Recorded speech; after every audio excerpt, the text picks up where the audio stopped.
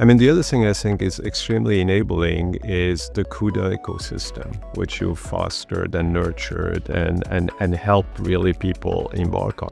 Now, with CUDA OBJ, I think it is opening all kinds of possibilities because people can now tie into this and apply it. Combination of CUDA OBJ, NIMS, you know, the inference part of it for specific industries, life sciences, financial services, autonomous driving, and so on and so forth. You take all these things, you tie them together with the advances that will be made in the models.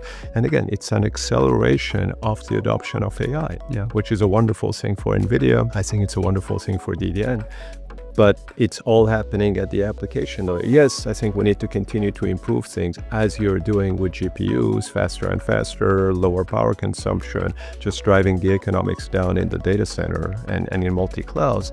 But it's the combination of all these things, you know, this data intelligence layer, as, as you suggested, which is tying into efficiencies in the data center and acceleration at the application layer.